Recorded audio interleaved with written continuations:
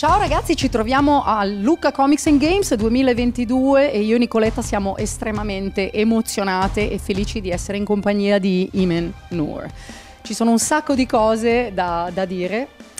È la prima donna in assoluto ad avere diretto l'orchestra degli Oscar in assoluto mai fatto prima, è compositrice, conduttrice incredibile, ha scritto musiche anche di videogiochi, quindi ne parleremo oggi in sua compagnia. Welcome, Imer, it is such a pleasure to have you here, we're honored.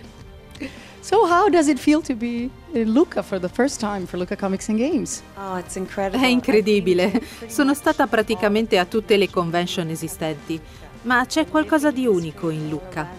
La storia viva che ci circonda, da amanti del fantasy, fa volare l'immaginazione. È un'atmosfera elettrizzante e coinvolgente. Absolutely. So are you excited to be here for the concert tonight? Because you're going to be doing something special in here, right?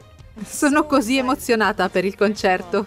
Per cominciare sono stata viziata e coccolata da tutti, è stato tremendo. Oh. Esatto, i giovani artisti che suonano nell'orchestra vengono da Fiesole e sono semplicemente superbi. È stato bellissimo lavorare con loro. La loro passione, serietà e professionalità sono fantastici.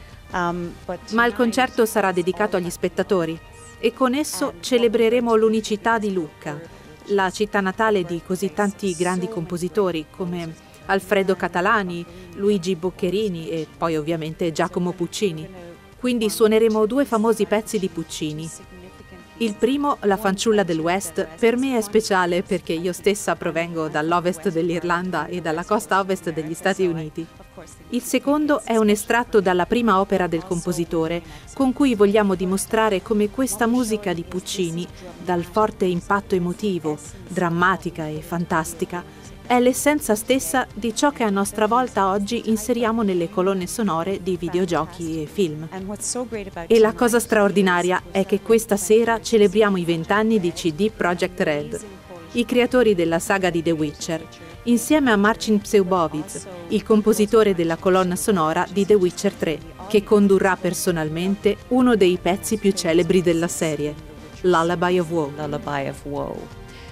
So you wrote some awesome soundtracks for many video games like World of Warcraft, Diablo, Zelda. Are you a gamer or how do you find inspiration for this kind of music? Well, I live with Beh, vivo con un giocatore sfegatato di 9 anni, quindi al momento mi trovo nella strana situazione di dovergli imporre di giocare meno, ma allo stesso tempo voler giocare anch'io. Quindi non fare quello che faccio io, ma fai come ti dico. Anche se al momento giochiamo per lo più a Roblox e Minecraft. Ma abbiamo appena preso una nuova Xbox e arredato la sala con audio panoramico. Che sì, è un po' esagerato, ma lo faccio per lavoro. I mean, it's work. Um, How did you decide to go from songwriting to conducting an orchestra? Because that's a peculiar change. I mean, there are not so many women conducting orchestras, right? Ho sempre portato avanti entrambi i sogni. Ho deciso a sette anni che avrei diretto un'orchestra. Seven! Sì, ne vidi una in tv e pensai, che figata, voglio farlo anch'io. Vidi l'orchestra, la passione, il movimento, il suono. Erano ipnotizzanti, non riuscivo a crederci, ma volevo farne parte. Quindi ho sempre portato avanti le due cose. A volte dirigo, a volte compongo, ma è come avere una doppia personalità. La direttrice è estroversa, la compositrice introversa. Ed è molto strano quando mi trovo a dirigere la mia stessa musica, ma è un momento assolutamente speciale. So that's that's extra special.